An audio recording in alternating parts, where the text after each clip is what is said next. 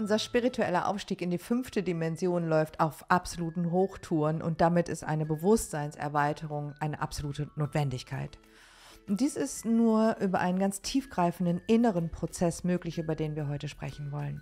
Denn diejenigen, die diesen Weg gehen, sind meist schon von Kindesbeinen an darauf vorbereitet worden. Sie sind sozusagen die Leuchttürme der neuen Zeit und ja, in dieser Folge teile ich einen Aspekt mit dir, der dir einen Hinweis darauf geben kann, ob du für eine besondere Aufgabe in diesem Leben auserwählt wurdest. Ja, des Weiteren wollen wir uns einfach mal so die tieferen Zusammenhänge anschauen, die ganz häufig so im spirituellen Aufstiegsprozess total vernachlässigt werden. Ja, häufig wird so der spirituelle Aufstiegsprozess mit irgendwelchen Eingebungen, mit höheren Wahrnehmungen gleichgesetzt, aber um da erst einmal hinzukommen, bedarf es wirklich einem, einem ganz, ganz, eines ganz tiefen Prozesses in uns selbst. Und da möchte ich dich gerne mit auf die Reise nehmen. Somit werden wir uns ein Stück weit über das Thema Erklärmodell annähern, aber eben auch ganz klar so, dass du herausfinden kannst, okay, wie ist es eigentlich bei mir? Bin ich wahrscheinlich, bin ich eventuell ein Nee oder ein Näher? ähm, der besonders für diesen Weg ausgewählt wurde. Und damit kann dir auch deine eigene Geschichte wie ein Lehrmeister dienen. Und das ist super spannend, weil nichts, was in deinem Leben bisher geschehen ist, äh, war sinnlos, ja, und egal wie grausam es gewesen ist. Und wenn wir begreifen, wie wir unsere eigene Geschichte als Lehrmeister sehen und wirklich an ihr wachsen, dann können wir auch die, die Diamanten bergen, die in ihr liegen. So, ich hoffe, du hast Bock auf diese Folge. Hör sie auf jeden Fall bis zum Schluss. Dann macht das ganze Bild Sinn. Also erstmal zu mir. Mein Name ist Linda Giese, bin seit über 20 Jahren spirituelle Mentorin und bin auch die Autorin von dem Buch Bewusstsein Next Level und die Begründerin der Seinspotenzialmethode. Die Seinspotenzialmethode ist eine ganz einzigartige Methode, denn sie zeigt dir deine Seinspotenziale, also deine absoluten Stärken auf die wir eben meistens schon seit unserer Kindheit abtrainiert bekommen haben. Und wie wir die wieder aktivieren, das möchte ich dir gerne zeigen in unserer nächsten kommenden Seinspotenzial Live-Show. Die ist kostenfrei und mit ein bisschen Glück können wir sogar miteinander arbeiten in dieser Show. Deswegen, wenn du dich anmeldest, klemm dir direkt dein größtes Problem unter den Arm und bring's einfach mit in die Show, denn dann gucken wir uns das Thema genau anhand deiner Herausforderungen an und ich zeige dir, wie du nicht nur deine Herausforderungen löst, sondern eben auch deine Seinspotenziale aktivierst. Ich hoffe, du hast genauso viel Lust darauf wie ich. Der Link zur Show, zur kostenfreien Anmeldung, der ist hier im Text zu, dieser, zu diesem Podcast zu finden. Okay, widmen wir uns mal dem Thema spirituellen Aufstieg. Denn wer sich ganz, ganz tief in diesen Prozess des spirituellen Aufstiegs und der Bewusstseinserweiterung hineinbegibt, der kriegt den Geist nicht mehr zurück in die Flasche. Die meisten werden von der Erkenntnis eingeholt, dass viele der Probleme und der Herausforderungen, die wir so im Leben haben, aus tief verwurzelten emotionalen und selbstsabotierenden Blockaden entstehen. Und diese Blockaden, die sind meist durch frühkindliche Erfahrungen geprägt worden, die unsere Fähigkeit, in liebevoller Verbindung zu uns selbst und zu anderen zu sein, massiv stören. Sie trainieren unsere Seinspotenziale ab, sie verbiegen uns und dann sind wir irgendwann erwachsen und ja, haben irgendeine Rolle eingenommen, aber so wirklich wir selber sind wir nicht mehr. Wir sind alles endlich so eine wandelnde Blockade auf zwei Beinen. Und beim spirituellen Aufstieg, da beginnt das Ganze zu bröckeln, denn häufig beginnt es mit einem ganz tiefen Wunsch nach Heilung der gestörten Beziehung zu uns selbst. Ja, und so eine ganz unerklärliche Gewissheit, dass da etwas im eigenen Leben nicht wirklich stimmen kann und dass so eine ganz tiefe Sehnsucht nach Frieden, Liebe, Freiheit und auch Ankommen im Leben äh, sich zeigt. Und das sind so häufig die Antreiber, aus der Massenhypnose der Oberflächlichkeiten auszusteigen und tiefer einsteigen zu wollen. Wenn wir das dann tun, dann folgt so ganz schnell die Einsicht, dass so diese emotionalen Blockaden und Verhaltensmuster ja letztendlich aus vergangenen traumatischen Erlebnissen stammen, die zwar irgendwie in unsere Historie gehören, aber nicht wirklich zu uns selbst. Und das ist dann ganz oft so der erste Kontakt mit dem eigenen Selbst, mit dem hohen Selbst. Irgendwie so das Gefühl, dass dich da etwas zu leiten scheint und dich immer wieder antreibt, Antworten zu suchen, ja, die du in den offiziellen Erklärmodellen einfach nicht findest. Deine prägenden traumatischen Erfahrungen können ganz subtil entstanden sein oder offensichtlich oder sogar grausam gewesen sein. Eines ist Fakt. Sie hinterlassen immer einen Abdruck auf deiner Seele. Wenn zum Beispiel deine Mutter emotional distanziert oder abwesend war oder zu, zu wenig liebevolle Zuwendung erfahren hast, vielleicht sogar Ablehnung, Beschämung, Demütigung, Gewalt und ähnliches, dann kann das so tiefe Wunden in deiner kleinen Kinderseele hinterlassen haben. Und du erlebst das dann oftmals als bedrohlich empfundenes Gefühl von Getrenntheit und Alleinsein. Und das kann sich wirklich bis heute dann in Form von Unsicherheiten, Ängsten, mangelndem Selbstwert, aber auch Mangel im Leben generell zeigen oder dir das Gefühl vermitteln, nicht richtig zu sein oder irgendwie blockiert zu sein. Und auf deinem spirituellen Weg geht es dann darum, diese alten Wunden zu erkennen und sie nicht als Schwäche, sondern als Einladung zur Transformation zu begreifen. Und auch wenn dich keine Schuld an der Verletzung trifft, bist du trotz allem verantwortlich dafür, diese Verletzungen zu erkennen, sie zu benennen und sie zu heilen, zu reparieren. Ja, denn erst wenn wir uns den Schmerzen unserer Vergangenheit wirklich stellen, und zwar heilsam stellen, dann öffnen wir uns für die Möglichkeit einer gigantischen Transformation und aber auch höheren spirituellen Erkenntnissen.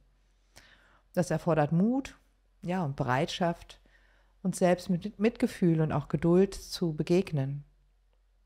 Und somit ist ein ganz wesentlicher, aber oftmals eben auch sehr vernachlässigter Bestandteil des spirituellen Aufstiegs die Fähigkeit zur Selbstregulierung. Und das meint so, in der Lage zu sein, unsere Emotionen, unsere Gefühle, aber auch unsere Gedanken und unsere Energien in so einer Balance zu halten. Auch wenn äußere Umstände oder innere Prozesse heraus, herausfordernd sind. Wirklich, dass wir in der Lage sind, den Stress, die Gefühle, vielleicht auch Ängste und, und all das, was so lebensbedrohlich an Gefühlen in uns ist, dass wir das halten können. Selbstregulierung ist ein ganz, ganz wichtiger Aspekt bei dem spirituellen Aufstieg.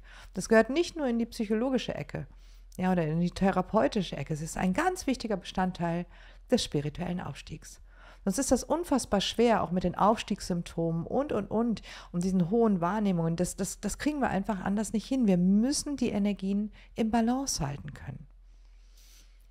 Ja, und kindliche Erfahrung von von Ablehnung oder emotionaler Vernachlässigung können unsere Fähigkeit zur Selbstregulierung einfach stark beeinträchtigen. Wir haben das einfach nicht gelernt. Und das äußert sich dann einfach später in stressigen Situationen, ja, dass wir den Kontakt zu unserer Mitte verlieren.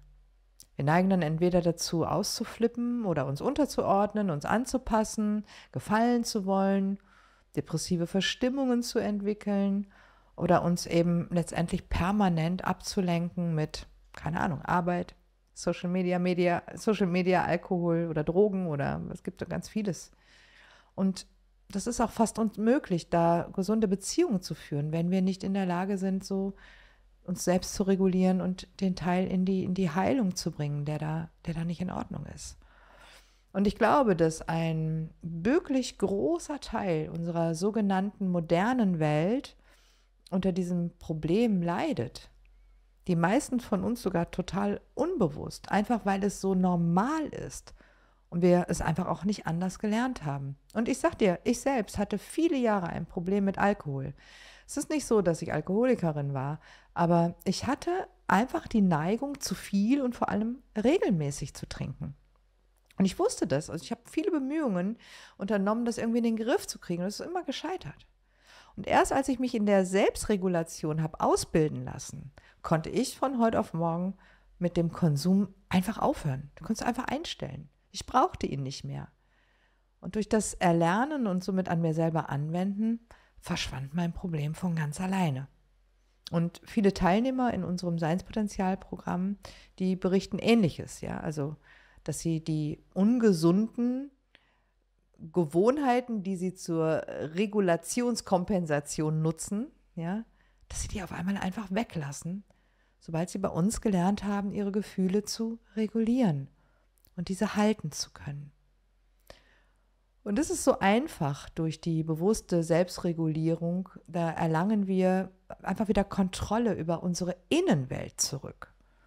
Und das ist ein total liebevoller und ja sensibler, traumasensibler Prozess mit natürlich mit ganz viel Liebe und ein bisschen Geduld. Aber die Belohnung, die ist einfach immens. Ja, ein tiefes Gefühl von innerem Frieden, ein klarer Geist und die Fähigkeit, ja, unsere eigene Wahrheit zu leben. Ich glaube, das ist so was ganz, ganz Wichtiges, dass wir aufhören, uns zu verbiegen, sondern dass wir mit uns so gut in Kontakt sind, dass wir unsere Wahrheit kennen und diese eben auch leben können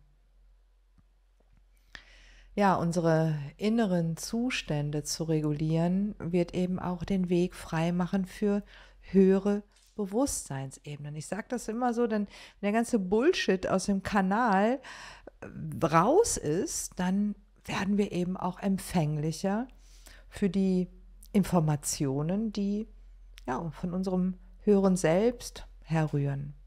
Vorher kann das einfach nicht gehen. Das funktioniert nicht. Und auch wenn es den meisten von uns klar ist, möchte ich trotzdem nochmal betonen, dass spiritueller Aufstieg somit nicht bedeutet, die Welt zu verlassen oder in irgendwelchen spirituellen Sphären abzudriften und auch nicht sich von den Menschen um uns herum abzuwenden, abzuschotten. Dann ganz im Gegenteil, es geht darum, tiefer in dein Leben einzutauchen und die Beziehung zu dir selber zu heilen und eine authentische Verbindung mit anderen einzugehen. Und jeder Einzelne, der sich auf den, auf den Weg macht, zählt. Denn indem wir unsere eigenen Wunden heilen, tragen wir zur Heilung des Kollektivs bei und erschaffen eine Welt, die auf Liebe, Mitgefühl und Einheit basiert.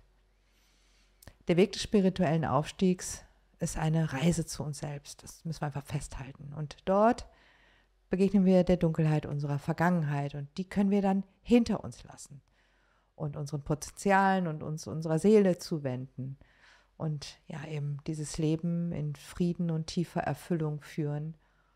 Und auch wenn der Weg vielleicht nicht immer einfach erscheint, kann ich aus eigener Erfahrung sagen, er ist es wert, gegangen zu werden.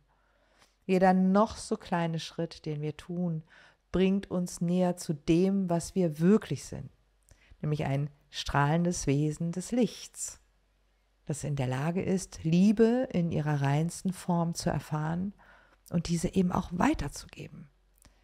Und deswegen spreche ich auch von auserwählt sein, denn diejenigen, die schon als Kind durch erfahrenes Leid tief in die Getrenntheit absteigen mussten, tragen durch ihre eigene Transformation zu einem Leben in seiner ganzen Tiefe und Schönheit bei.